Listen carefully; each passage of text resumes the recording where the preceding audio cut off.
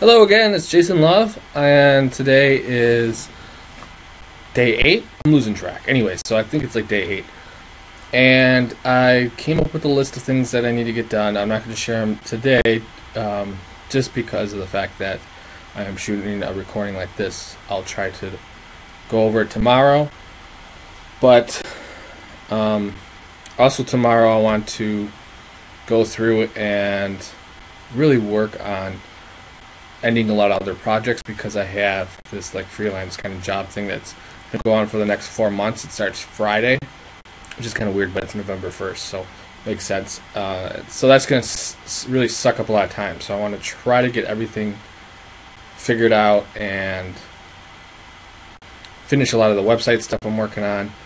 Uh, I have to do some finance numbers just to make sure all my bills are being paid and um, everything's going to be okay on that end. And uh, yeah, it's every day is just overwhelming. And I, I'm trying to clean out my email before I start so that I don't, I don't know, just to, to get rid of it. And I have around 800 emails, so that's going to be a pain in the butt. Anyways, list is done. Um, hopefully, I'll have actual some numbers in the next few days on what when the Kickstarter campaign is going to be launched. Now, I figured out with the mini comic, I'm going to have to I'm going to have to do it at the same time as the Kickstarter campaign. So, bummer, but not not much I can do about it. So, anyways, have a good night. It's nighttime right now. Take care.